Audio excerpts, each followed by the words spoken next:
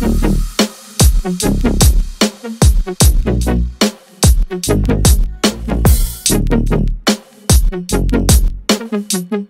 you fucking real, man. Come on.